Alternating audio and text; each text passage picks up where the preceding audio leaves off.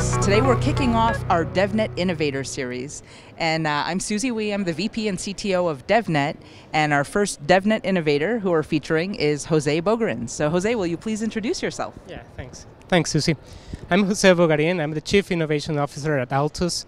We're a company based in Costa Rica, and we're focused on Cisco collaboration products and you know technologies in general. Great. Thanks, Susie. Thank you. Uh, so as part of DevNet, DevNet is Cisco's developer program. And what we have in DevNet is uh, a program which certainly helps people code on Cisco's technologies and platforms. And we provide tools so that people can understand the APIs and access them. In addition, we have a lot of learning materials so people can learn how to code or learn, out, learn about networking and things like that. And then we have inspirations. We have DevNet innovations that show cool things that people have used on Cisco APIs and also allow people to connect with community forums and communities of interest so that we can really get that discussion going. Um, We've been working with Jose from the very beginning of DevNet, which was uh, a few years ago. San Francisco. Yeah. San Francisco, yes. So, uh, so Jose uh, was in our very first DevNet zone. He was in the front row of every session. It was just amazing. You were just Yeah. eating software. Yeah. Um, and now you've used a lot of uh, Cisco's technology. So, can you just tell us about a problem that you were having that you were trying to solve? Sure. Yeah. Well, we've been working on a solution for the Contact Center Express. Mainly, the main yeah, use case or problem that we have right now, it's that configuration is somewhat complicated for the end user. So they actually have to go to IT, and sometimes IT has to go through their Cisco partner. So a simple configuration change that might take, I don't know, maybe five minutes, maybe takes them like two days because they have to go through their help desk and then through the Cisco partner help desk. So depending on the SLAs, we have even seen cases like it takes them maybe a week, and it's maybe a very simple change. So that's like the main use case right now, trying to yeah, provide a very simple interface to use for the end user to make those changes without compromising the behavior of the contact center. Okay.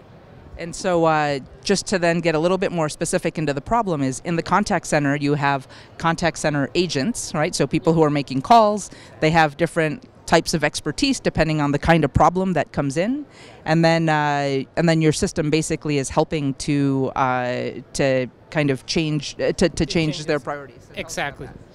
Yeah, we can actually go ahead and change the priorities, the skills that they have in the contact center, the competency level that they have in those skills. And we can actually change, for example, how the contact service queue is handles the calls that get to the contact center. And even the IVR, for example, when they when they went to change, for example, the audios or change the um, the order of the IVR, we can actually go ahead and do that also with the APIs. Uh, can you tell us a little bit about your solution? Sure. Yeah. Well, um, here's the you know the very novel infrastructure. You have the router, the Cisco Unified Communications Manager, and the Cisco Unified Contact Center Express. And here's our software. It's Altus Contact Center Manager.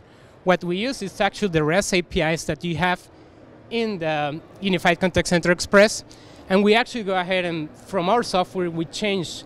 Um, for example, how the agents, uh, the skills of the agents in the contact center, we change uh, uh, the skills that the contact service queues are uh, assigned to. So we actually go ahead and you know provide a very easy to use web interface for the line of business users to make those changes to the contact center without them having to go through the administrator interface of the contact center express. Great. And so, uh, so basically, this is all the guts that's going on underneath the contact center. So when someone makes a call, all the automation is happening through the contact center express and through your product here. Um, tell us specifically about the APIs that you are using. Sure. Yeah, actually, well, the APIs part was really easy because we went just to the developers.cisco.com and there's a collaboration area and in there there's a link for the Unified Express API. So we actually went there and it's a very well documented API and it's very easy to work with. And we actually went and, you know, started reading the documentation, yeah, doing tests with Postman, the Chrome, you know, uh, little app that you have, and started, you know, sending some REST API calls.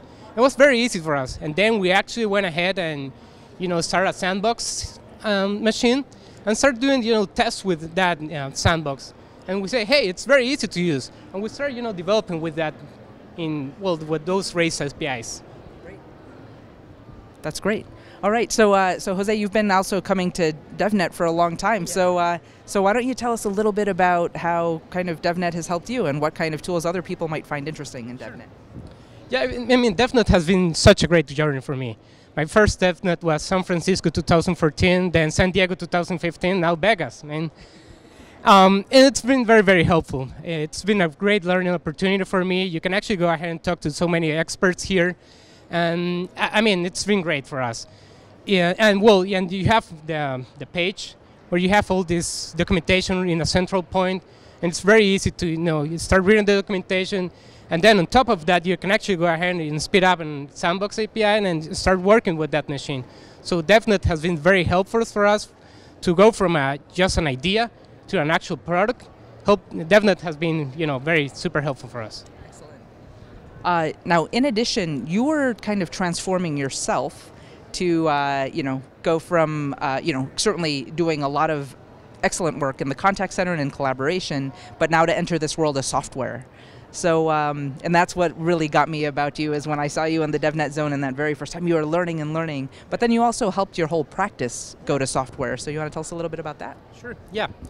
Yeah, well, I, am the traditional networking guy, you know, the CCNA, CCNP guy that started with the networking academies. Actually, it was my first experience with Cisco.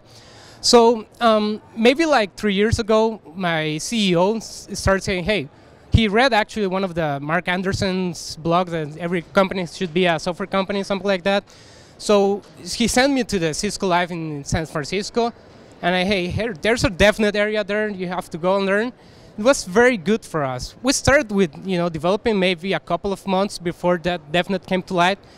But when I got to DevNet, it really opened my eyes of the kind of things that you can do with Cisco APIs. And this huge language that the, everybody talks about, it's Python. So when I got to San Francisco and say, everybody was telling me, hey, you gotta learn Python, you gotta learn Python. And it was really good for us, man. It was like that big, you know, learning experience and starting to see what the APIs can do, what you can do with Python. It was very, very good for us to do that in DevNet. And then yeah, in 2015, I went to several talks about microservices and you know the whole DevOps culture. So it really has been um, very helpful for us to know this, to be in these sessions, and to take that knowledge back home and start, you know, um, incorporating in our practices. And it's been very, um, how you say it, in, in, a very competitive market. When you can actually take those ideas and innovate with those ideas, it really makes a difference. Great. Excellent. Thank you, Jose. Thank you. Excellent. So, uh, you know, there's other places that we can come in to get more information about uh, about Cisco DevNet. So you can go to developer.cisco.com, uh, and in addition, we can come in and also learn about uh, Altus as well.